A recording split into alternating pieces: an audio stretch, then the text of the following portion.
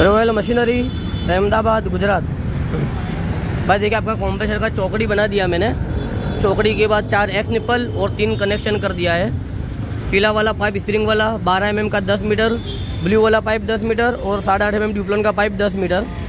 फिर आपका H we spray gun हो गया।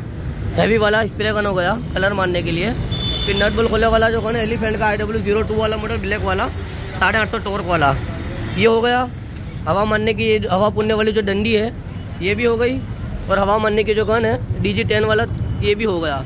ये आपका नट बोल खोलने की गन का पेटी और ये स्प्रे गन का बॉक्स और ये डंडी हवा पुनने वाली। ठीक है? पूरा आपका सब जो सामान है, वो रेडी कर दिया है, जो छोटा छोटा ऐसे शरीर है। अब आपका खाली 400 पाउंड का टंकी, तीन एच डबल पिस्टन का मशीन और तीन एच गोदरेज का मोटर सिंगल फेस खाली ये बाकी रहा है, ठीक है? विनोद भाई का जो पेमेंट है वो पूरा पेमेंट एडवांस आ चुका है। ये जो सामान है, ये भी विनोद भाई को भेजने का है और इनका कॉम्प्रेशर है, जो भी रेडी होना बाकी है।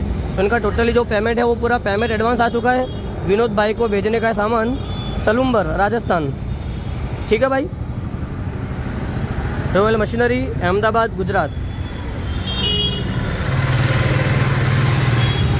ये पूरा सेटअप अपनों ने विनोद भाई को दिया हुआ है। जो कल अपनी शॉप पर आए थे, उनके भाई जो, उनके जो जीजा जी है, छगन जी भाई को लेकर लेकर के आए हुए थे। तो उनके लिए पूरा वीडियो बना रहे चौकड़ी, फिर एक स्प्रिंग पाइप फिर पीला वाला पाइप फिर स्प्रिंग फिर H wheel spray gun nut bolt खोलने वाला गन डंडी, हवा मारने वाला गन और वो रहे हवा के डंडी का बॉक्स ये पेटी है ब्लैक जो गन है हैवी वाला एलिफेंट का, आधे का, बराबर? साढ़े आठ सौ टोर्क वाला गन है ये, काफ़ी हैवी वाला गन है।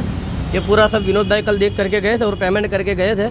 आज सब हमको ट्रांसपोर्ट में भेजने का है। सलूम्बर राजस्थान।